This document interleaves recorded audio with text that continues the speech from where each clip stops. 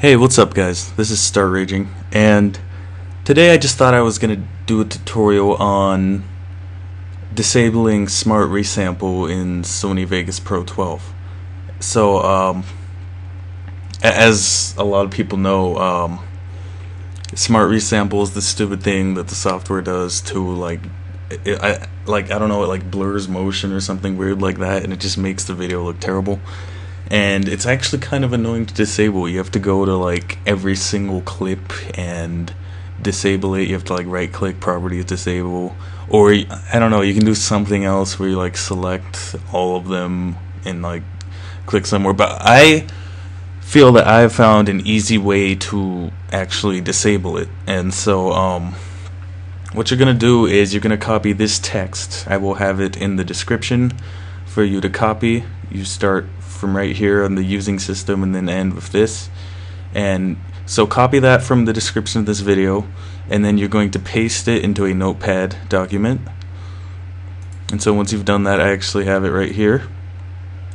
And then uh, you just name the file like smart resample disable.txt and then you click to rename the file and you change it to um, instead of .txt you change it to .cs. And click yes and that'll change the name of the file.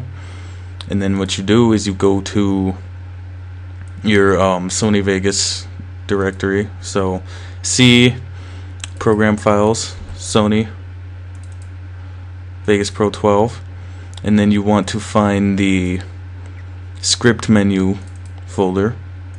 And then you'll take the .cs file that you created with the code in it and you'll just paste it right in here.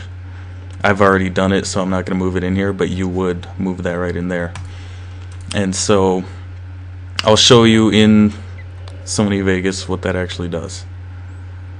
So um, have this load real quick. Alright. So um let's put some clips in there. Uh, let's just pull this in here. This commentary did. So, um, see, like, imagine you have like a ton of clips in here, and normally for each click you'd have to like right click, properties, disable.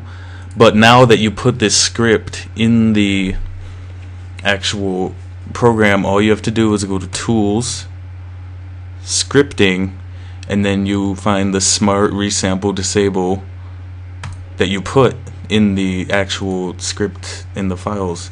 And so and then you hit properties and as you can see it changes. And that doing that actually will change every single clip that you have in there. So I, what I like to do is I just make the entire video and then when I'm done with it instead instead of having to like go through and disable all of them I can just tools I'll go through it again. Tools scripting smart resample disable. And that disables it it's I I think it's a lot easier than um, you know going through and clicking each of those things. So uh, go ahead and subscribe if you found this tutorial helpful. Um, and yeah thanks for watching